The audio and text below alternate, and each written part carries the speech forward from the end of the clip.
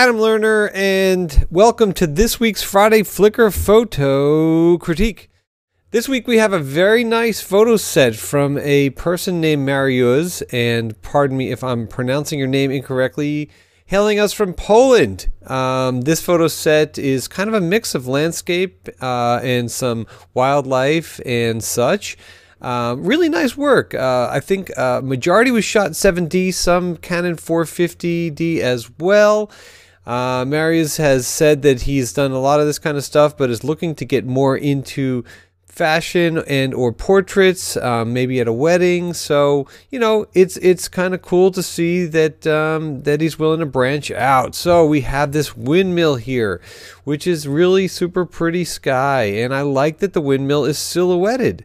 I also like that there's this hill that brings your eye into some interest. The one thing I would like to see is if the windmill was skewed just a little bit to the right, so this blade wasn't cut off. Um, I'd like to just have a little bit more information on this side of the frame. However, I really do like the tones here and the framing. I think it's very cool. Okay, uh, this I only can imagine is maybe the moon. Um, it's kind of wacky. Uh, I can't really quite figure this one out. Um, I'm going to um, pop over here and uh, see what we can do to figure this one out and uh, you know maybe maybe we can get some more information um, because I know that there is some EXIF information, but I noticed that he also gave me some information as well. And you know what? I can't even figure this one out. So you know what? Let's not even try to figure it out. Um, pretty cool.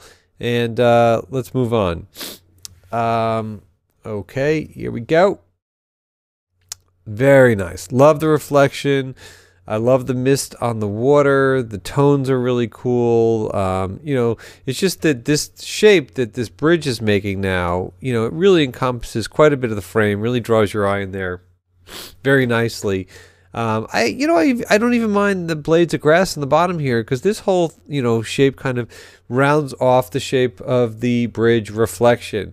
You know, one thing that's really cool about water is that, you know, water um, often can stay warmer than air temperature you know so that if you get one of those kind of late summer days or fall days where you know it gets really kind of cool and crisp at night and the water stays warm you get like that really nice foggy stuff going on there. And uh, he did a great job of capturing it here so really nice. This is definitely one of my favorites from the set. Excuse me. Now we've got the same kind of thing. We've got like that foggy thing going on. We've got fishermen um, we've got some kind of a serious zoom action going on. Uh, looks like some folks are they're all on the shore here, and you know the way that the light is passing through this fog. I mean, it's it's a pretty epic shot, and also I like this bridge. Maybe it's a rail bridge or something like that. It's really super cool. This is when you really, really put on your vision goggles. Vision goggles.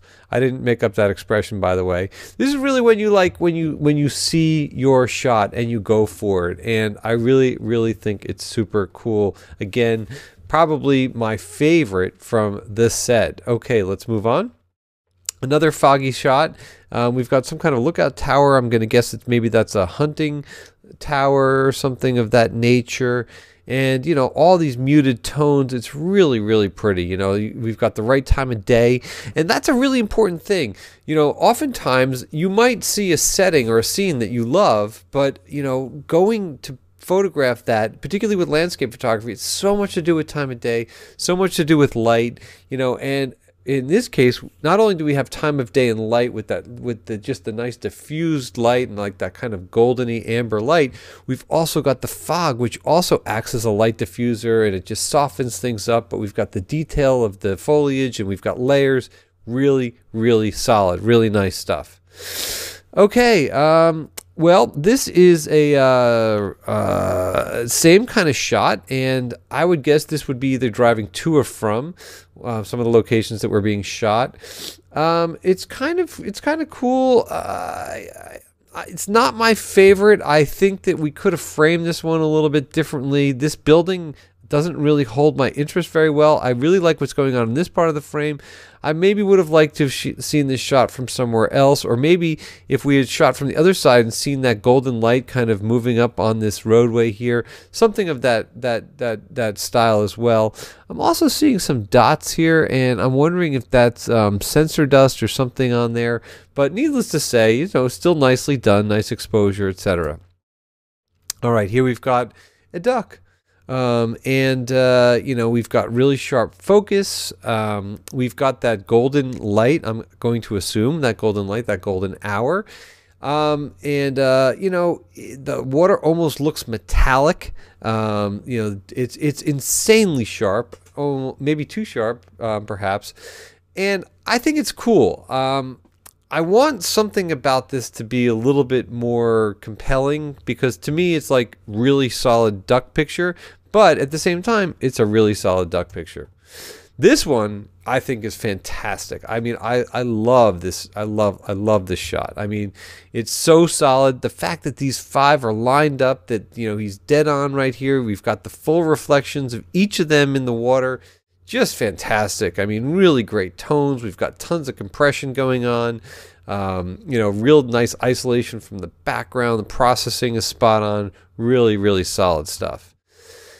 And you know, this is a nice tender moment. Um, you know, this, you know, if if he is thinking about getting into wedding photography, this is one of those kind of candid moments that people love, and it's a tender moment. Um, and it, it's very sweet. Um, you've got uh, context because we're at a table, we see some wine poured. You know, um, I like this kind of work, and I think that if this is what you're looking to do, keep doing this. And you want to look for those moments, get the interactions, get those little conversations that people are having. You know, when they're kind of talking to each other and laughing and stuff like that. You know, try to find those kind of moments beside just them looking at you and looking at the camera and smiling. These kind of things are really special, and this is a lot, a lot of what wedding couples like. Okay, how could you argue with this? We've got a really sweet long exposure done very, very well. Um, beautiful firework explosions in the sky. I really do very much like how the skyline is nicely lit down here and it's kind of got a goldenish glow, which is terrific. And then we fade all the way to black with these beautiful trails, you know, uh, painting into the sky in this brilliant blue and some reds over here it's a really really neat shot. Uh, I like the scale of it. Um, I think that you know shooting fireworks, if you get it right, in this case, you get it right, and this is really nicely done. So that is going to be it for this particular photo critique Friday Flickr photo critique. If you want to send me a photo set please send it to adamlernerphoto at gmail.com. Uh, make sure your set is cohesive in nature, in that, that there is some kind of common thread about you know your subject material or your processing or maybe it's a photo story or something of that nature um, also make sure that you have created a Flickr photo set and or a 500px photo set so that not only can we look through it, but we can also share the EXIF information with the readers that want to dig a little bit deeper and learn how you took those shots. So again, thank you for submitting a terrific set and I look forward to seeing a lot more from you guys out there. That's it for now, and we'll see you soon.